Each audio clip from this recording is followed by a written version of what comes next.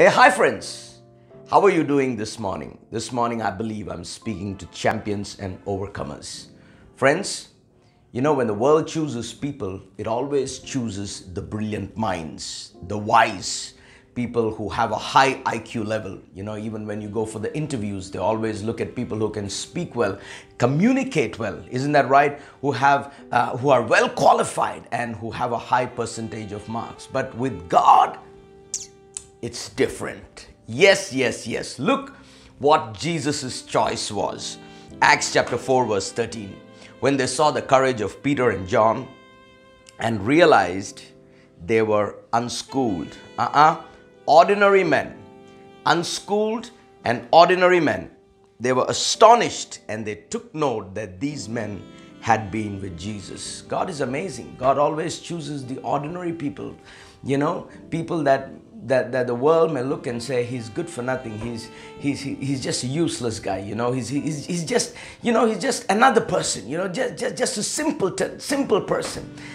Those are the people that god will pick.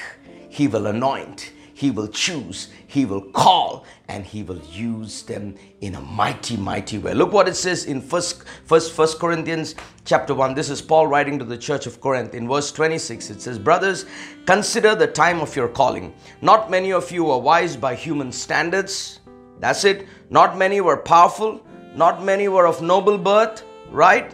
But God chose the foolish things of the world to shame the wise God chose the weak things of the world to shame the strong. He chose the lowly and despised things of the world and the things that are not to nullify the things that are, so that no one may boast in his presence. He chose the foolish things of the world. Friend, this morning I want to encourage you.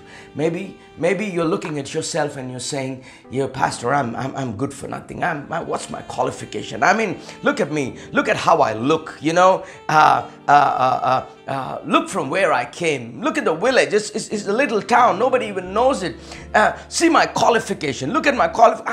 I'm a nobody. I, I'm a nothing. But friends, I want to encourage you this morning. If God is calling you, He has a plan. He has a purpose for you. And He's going to take you to such heights that is going to blow your mind off. You don't even know. You don't even realize that how much God cares for you. He loves you and He's calling you. Hey, don't look at yourself don't look at who you are. Don't look at from where you came, but look at Him inside you. He that is inside you is greater than He that is in the world. Glory be to God. If God has chosen you, get ready, get ready, get ready, get ready. He's going to take you from the pit and put you in the palace. Glory be to God. He's going to pick you from the mud and put you on the throne. Amen. Hallelujah. Hey, it's not by might, it's not by power, but it is by His Spirit. So, friends, don't belittle yourself. Don't feel inferior who you are. You are in the right place. You're the right person.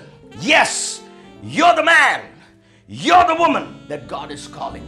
If you say yes, that's all you need to do is say yes. Hallelujah. And He will do the rest. God doesn't pick perfect people but He picks us and perfects us. Glory be to God. He's chosen the foolish things of the world to shame the wise. God chose the weak things of the world to shame the strong. Joseph, David, look at these guys, little people, shepherd boys. God picked them and made them mighty men. Peter, John, glory be to God. Your name is next. You're next. World changer. Glory be to God. Glory be to God. Glory be to God. Hallelujah. Glory be to God. You're next. You're next. You're next. Don't despise your smallness. Just say yes. God bless you. Amen.